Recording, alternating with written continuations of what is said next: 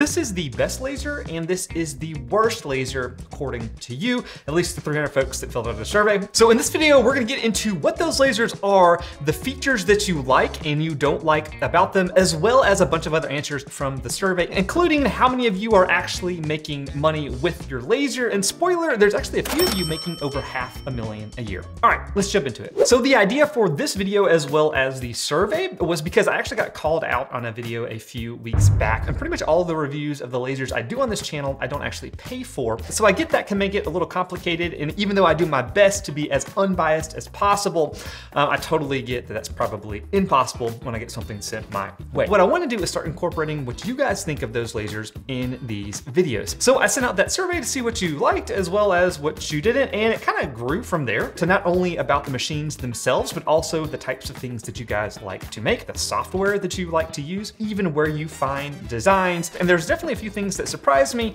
starting with this. So I'm actually gonna pull up the results from the survey right here. So in general, about 300 of you guys took this survey. And the first one I wanted to see is if you actually had a laser. And this surprised me because there is about 7% of the people that took this survey don't currently own a laser. So thanks for watching, even if you don't own one. Uh, and hopefully you'll pick out the one that you guys like the most in the future. And then I asked why those folks don't currently use a laser. Uh, and these were open response. And I got several talking about a very particular brand. This is Ortur, uh, basically folks saying that things were going wrong, wasn't able to get stuff fixed. Uh, and this was my favorite. I absolutely do not recommend Ortur.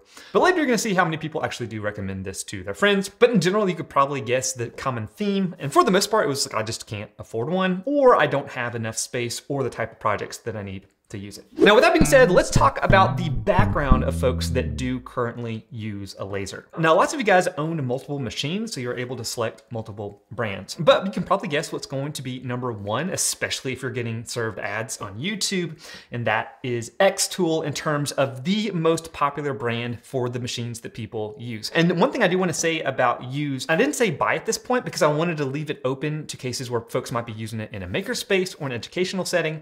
Um, so this is just folks that have access to a laser, what's the type of laser that they use. So you can see the breakdown right here. Xtool has 17%. Ortur, even though there are folks that don't like it, still a lot of you do, especially because they were kind of one of the really first ones in the budget diode category. That's actually like one of my very first laser reviews. They're at 13%. Uh, then we've got AtomStack at 10%, OMTech at 9%, and then Full Spectrum Laser at 3%. And the next step I wanted to know like where you're using your laser. And I found that 62 52% of you are using it inside of your house, whether that's in your garage or a craft room, and then 38% of you are using it outside of your home. Specifically, we've got about 20% of folks that actually have their own dedicated shop. This was surprising makerspace. That was only 3%, so there's only nine folks of everyone that responded is using a laser inside of a makerspace. Uh, for some reason, I was thinking that was gonna be a lot bigger, uh, but it just wasn't. Now let's talk about how good you are with lasers, starting with the experience in terms of years. Now, 50% of you are in the two to five year range, with about 12% more than that, and then the rest underneath. So pretty good bell curve in terms of no experience all the way to 10 plus years experience. Now experience doesn't always translate to skill. So that was something I asked as well. So I wanted you to rate your laser ability and pretty much the majority of you answered I can either do the basics or I have a pretty good idea how lasers work. Uh, with about 9% on the very advanced side of things and then 11% on the total beginner side of things. Now this survey actually filtered out all the folks that don't currently have a laser. Um, so these are people that have access to a laser, but still they're saying they're a total beginner. Now lasers are really only one aspect uh, to creating something like this. If you guys saw my previous video, then you saw me using a special piece of software to create this map design. Um, it's pretty cool, encourage you to check it out. But being able to create designs and how you create designs was a big piece that I wanted to know. So first I wanted to know, do you create your own designs? And 88% of you guys said yes. And then I wanted to know in what software you're using to do that. Now, this was actually pretty surprising and something I feel like that has changed over the years. Almost half, so 44% of you said you actually create your designs inside of the software itself. With Inkscape, the free vector editing software, 32%. And then you've got like Adobe Illustrator, Affinity Designer, even Photoshop and Canva showing up as well. But I was actually pretty surprised that the laser software is also where you're doing your design work. You're not just importing it directly in. And speaking of that laser software, uh, this was probably not as surprising The number one piece of laser software, according to you, in terms of what you actually use, is Lightburn, coming in at 85 percent. And then basically all the other software that people listed is going to be machine specific. So Xtool Creative Space is to come in at 19%. So even though it was the most popular brand of laser, there's a lot of lasers that can use Lightburn, including some Xtool stuff, and you guys use it. Now, even though 80% of you are creating your own designs, I also wanted to see if you're going out there and using resources to pull in designs as well. So ask where do you find designs? And there are a lot of different resources you mentioned. This was open-ended. And I actually put together a list of all the different resources that you mentioned. You can find a link for that down below. I've talked about this in the past. This is a resource that I've had on my end, and I've updated with those resources from you as well. But for the most part, pretty much the two most popular answers were either you just straight Googled it, or number two was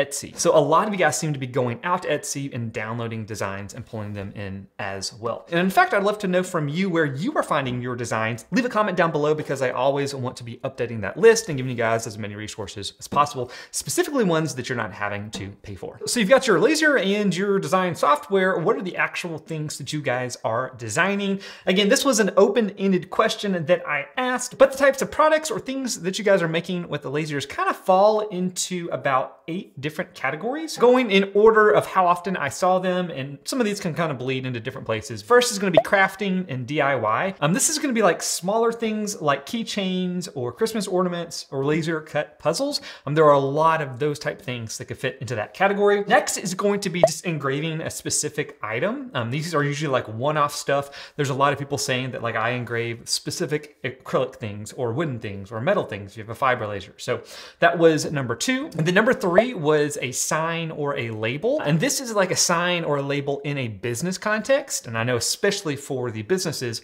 this is something that came up over and over again for people making money. Then we've got jewelry and accessories. And then we've got house decor and household items. So this could be everything from like wall art and decorative signs to custom coasters. Then next up, we have educational items. So specific things people are making for uh, like classrooms. That came up a lot. So like toys, but toys you could use to educate. And then last but not least, we've got business or promotional items. These can be more things like awards or badges or stuff like that. And speaking of making money, let's talk about how many of you are making money with your lasers. And so what I found is the majority of you actually aren't. So 60% said you are using this just as a hobby, with 30% saying it's a side income, 9% saying it's a full-time business, and then 2% of you are saying you're using it within a company. But then I asked that 40% some specific business questions that started with how many employees you currently have. Uh, you can probably guess that the majority of you said it's just me, with about 80% of you, and the number two option was like two to three at 17%.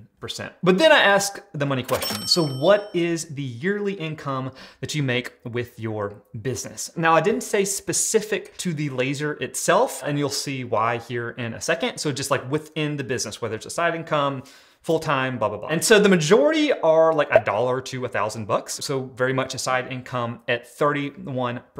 About 20% of you are in the a $1,000 to $5,000 a year. 16 is 5,000 to 10,000. Then 24% of you are making between 10 to $100,000 a year. And then 2% were making over 500. Now again, this was a small sample size. So 2% literally means two people, but they definitely are out there. So I asked people to actually give me like websites to their businesses so I could check them out. But I also said I wouldn't make that public. But I can say that as you get like higher up the income level, the more like full sign shop you get into. In fact, there's like two businesses in the half a million and up range are like full sign shops. So they're using lasers as like one element to be able to customize stuff. And then a lot of them are doing like big corporate jobs. And then kind of as you're stepping down, folks are still selling a lot of different items that they're custom branding, but a laser is just a tool in their bigger arsenal of like printing and all that kind of stuff stuff that they're shipping out. Finally, let's talk about your favorite and least favorite lasers. Now, one thing I had to do is I had to make this a brand just because I didn't have enough responses for individual lasers to be able to give you like any real rankings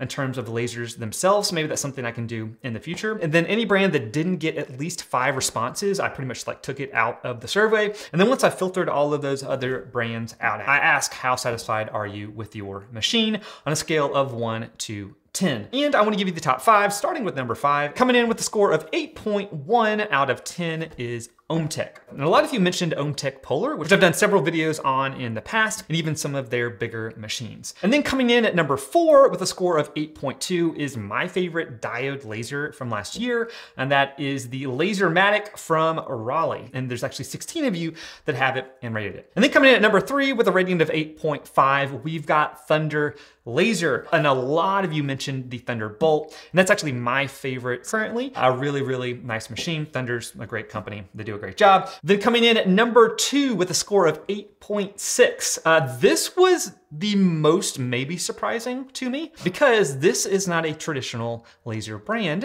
Um, you're gonna be a lot more familiar with them, with the machines behind me. This is actually Creality, which is normally a 3D printing brand. But with their Falcon 2, especially their fully, do I have it in here? No, I don't have it in here, but I'll show you B-roll. Their fully enclosed machine is a very, very nice machine. And they've actually even upgraded the wattage to, I believe, 60 watts. I've got that and I'm doing a review on it currently. So they've been knocking it out of the park. Now there's only five of you that have that machine, but of those that have it, you really seem to like it. And then drumroll, please. The number one rated laser brand with a score of 9.0 out of 10 is Aeon laser. Now, big caveat, this was only from six folks that have the machine, but I could totally see this happening because Aeon has a really, really good brand online. A lot of people seem to love their machines. I don't have any hands-on experience with their machines, but according to six of you that took the survey, you do, and you really like it. And then I asked how likely you were to recommend this machine to a friend. The only difference was that Raleigh and Thunder just switched spots. Aeon was still number one, but it was at a 9.3 out of 10, so even higher. Now let's talk about the lasers that you guys guys do not like. So I'm gonna give you the top five. So going from like least worst to worst. So number one is going to be the worst brand. that got five or more reviews. Number five, this was the one that people were hating on at the beginning of the survey, and that is Ortur. And they've got a rating of 7.5 out of 10. And then the fourth worst is going to be Sculpfun.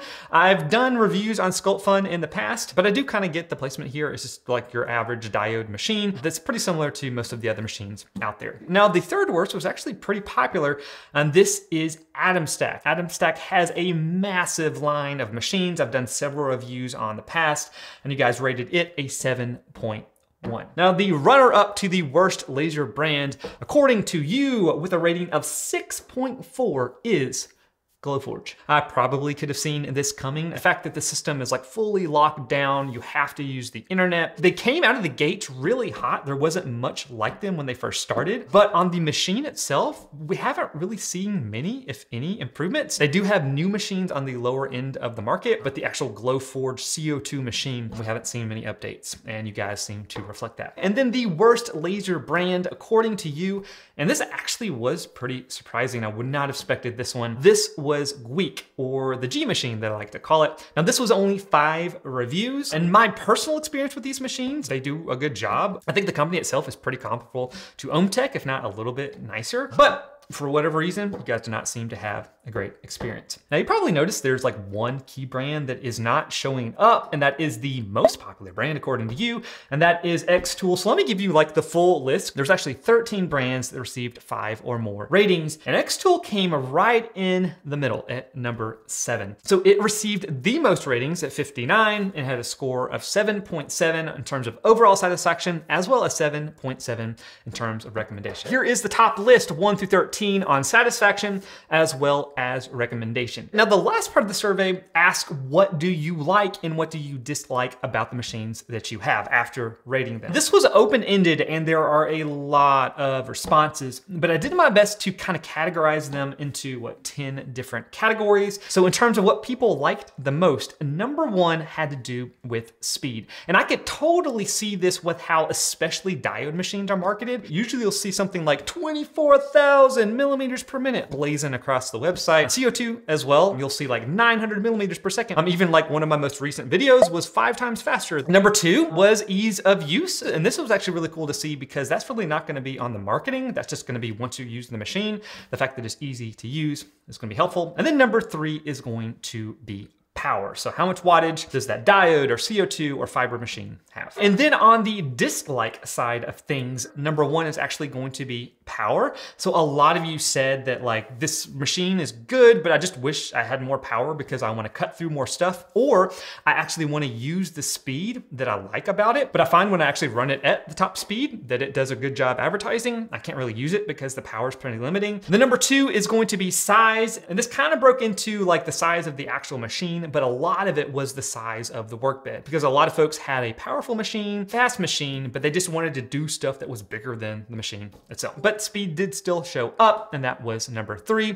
Folks found it slow. And this was especially true on the cutting side. Um, so that's not where you're gonna hit your max speed. That's just gonna be for engraving. But speed and power are pretty linked. And in fact, here is the top 10 for both of those lists if you wanna check it out. Now, like I mentioned before, those likes and dislikes were actually open-ended questions and I can split them up by brand. Now I am gonna use some of those reviews in the future, but I've actually put all of them together in a document if you kind of wanna see what people like and don't like about specific brands. There is a link down below for you guys to check it out. So I would love to know what you think about these rankings. Did we all get it right? Let us know in the comments. Also, this survey link I'm gonna keep live. My plan is to do like an update on this on a pretty regular basis. So if you didn't get your opinion in and you want to have it for the future, there's a link down there as well. So until next time, go make or break something in your shop. See you guys.